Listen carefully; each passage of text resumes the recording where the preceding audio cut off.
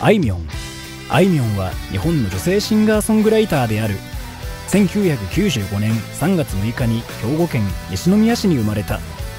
歌手や女優になることを夢見ていた祖母や PA エンジニアである父の影響で音楽に触れて育ち中学生の時から作詞作曲を始める。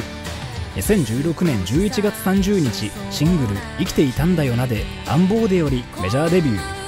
兄弟曲はテレビ東京のテレビドラマ「吉祥寺だけが住みたい街ですか?」の主題歌に起用された。2020年12月31日に歌手として紅組に参加し NHK 紅白歌合戦に初出場を果たした。あいみょんは男性目線の曲を多く作り出している。